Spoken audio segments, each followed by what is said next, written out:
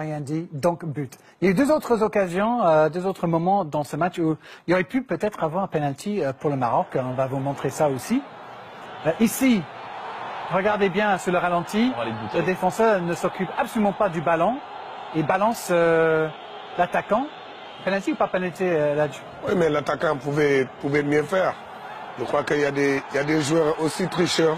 Et là, il y a la, la main ici, Il y a, Euh, il y a main aussi. Il y a main, il y a penalty. penalty. Pareil, il y a penalty. Le penalty, oui, oui.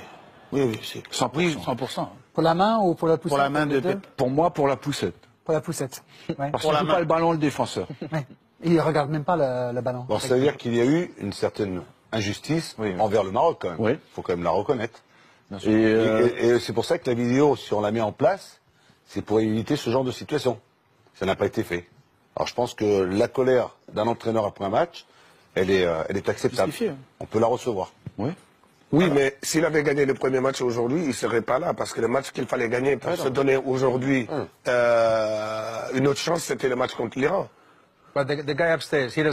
Mais celui qui est dans la boîte, il ne voit pas si Pepe c'est un penalty. C'est pas possible. Quand doing il touche la balle avec la main, qu'est-ce qu'il fait en fait?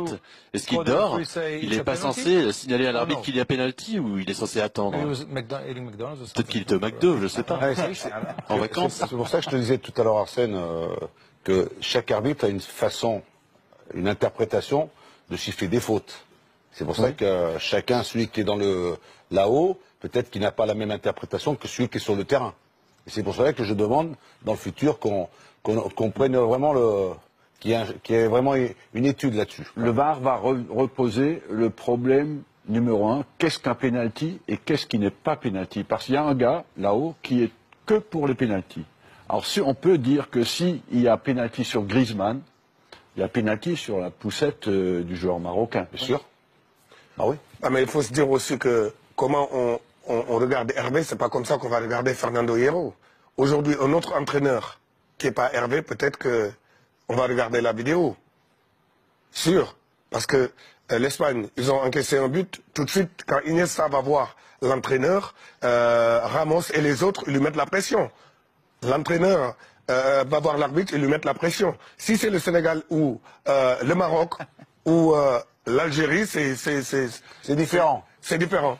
Il faut le dire aussi. Vous y croyez, oui, il y a, une, une attitude différente envers certains pays. But the guy upstairs, after that Mais penalty on Pepe, l'arbitre vidéo, de- après le penalty, la The situation où il aurait dû y avoir un penalty pour une faute de look. il n'aurait pas dû, that, il n'aurait pas pu dire à l'arbitre qu'il y avait faute. Sinon pourquoi?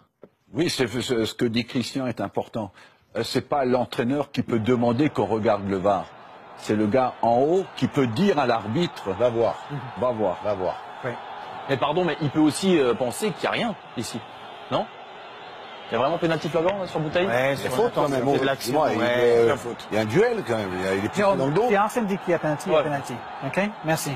Euh, il y a eu beaucoup d'occasions, en tout cas pour cette équipe de Maroc. On va vous, vous en montrer quelques-unes. Et on peut comprendre la déception, effectivement, marocaine ce soir, parce que cette équipe de Portugal, après avoir marqué très tôt, euh, parfois arrêté.